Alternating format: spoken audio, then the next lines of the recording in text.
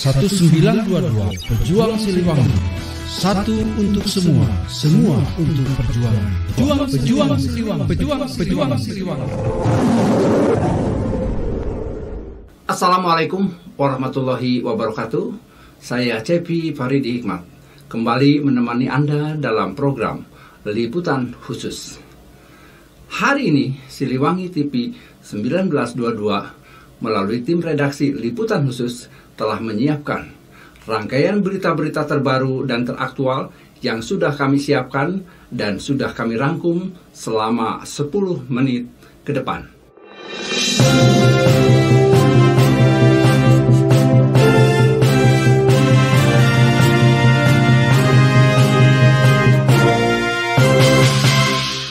Sahabat Siliwangi 1922 Beliau adalah Kolonel Siliwangi yang berani membubarkan Partai Komunis Indonesia atau PKI pada tanggal 2 Oktober tahun 1965 jejak karirnya di TNI Kolonel Siliwangi yang dimaksud adalah Solihin Gautama Purwanegara atau akrab dipanggil Solihin GP. Beliau adalah salah satu sesepuh tokoh Sunda yang sangat dihormati. Kerap dipanggil Mang Ihin.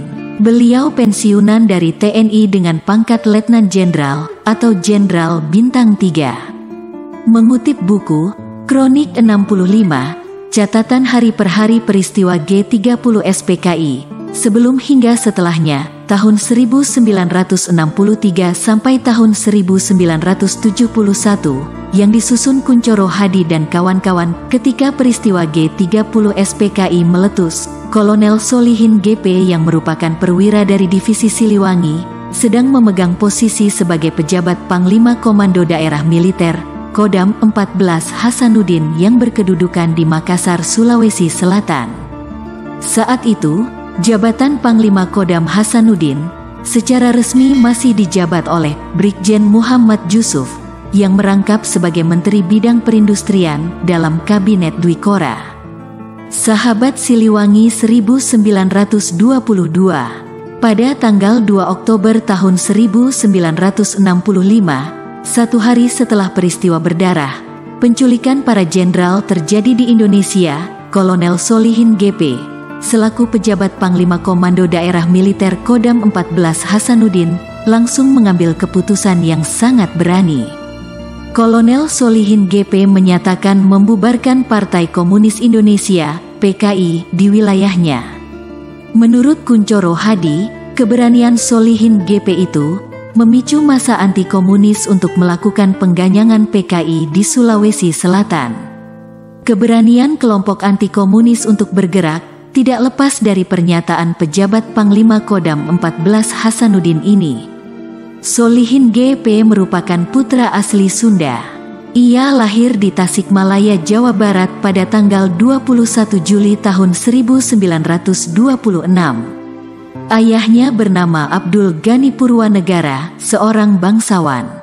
Sementara ibunya bernama Siti Ningrum. Meski lahir dari keluarga bangsawan, Solihin GP dikenal sebagai tokoh yang merakyat, dekat dengan kalangan rakyat biasa. Solihim mulai masuk dunia ketentaraan saat bergabung dengan Tentara Keamanan Rakyat (TKR) yang merupakan cikal bakal TNI, lalu bergabung dengan Divisi Siliwangi, salah satu divisi legendaris. Bersama dengan Siliwangi, Solihin GP banyak malang melintang di berbagai peristiwa. Mulai bertempur melawan Belanda, sampai memadamkan pemberontakan DITII dan menghancurkan Partai Komunis Indonesia atau PKI.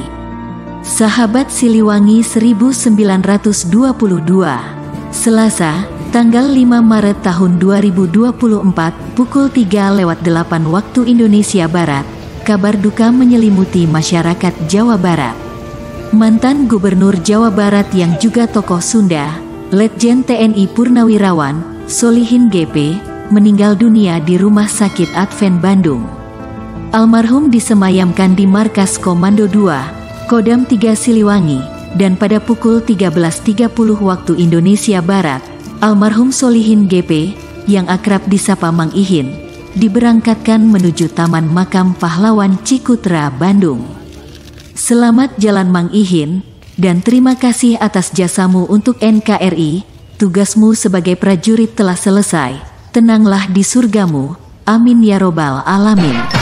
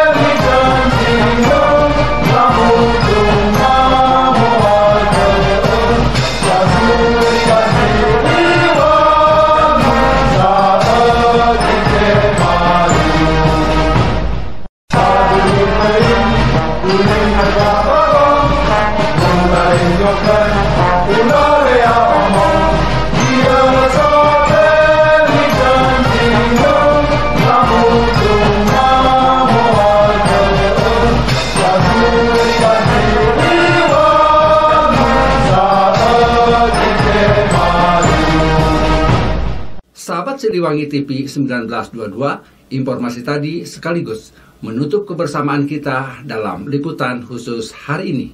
Saya Cepi Paridi Hikmat mewakili tim redaksi dan seluruh kerabat kerja yang bertugas mengucapkan terima kasih atas kebersamaan Anda dan saksikan terus Siliwangi TV 1922 sampai jumpa. Assalamualaikum warahmatullahi wabarakatuh. Siliwangi Jiwaraga.